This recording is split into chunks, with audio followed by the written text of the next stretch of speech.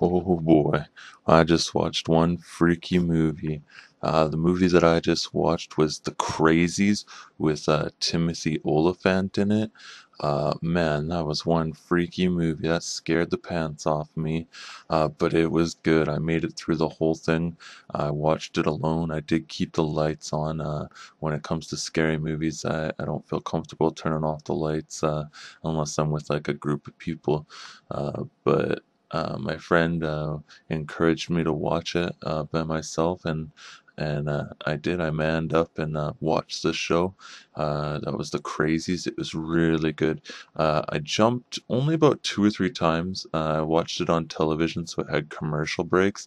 I think that that helped me get all the way through it. Um, but it was really good. So it's not too frightening. It's not too intense. Uh, it's just the right level of intense.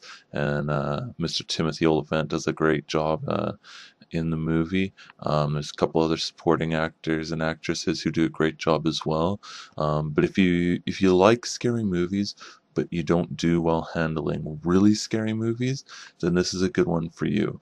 Um, it's a little violent, but it doesn't have too much like gore, really like straight up gore. Most of it's from a distance, um, so it's nothing that's gonna like make you sick to your stomach.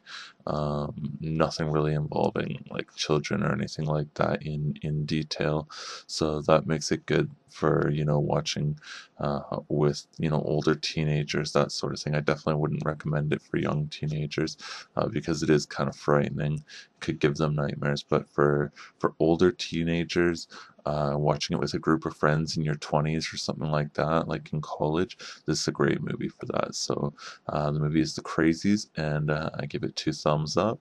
It's definitely a good one to check out.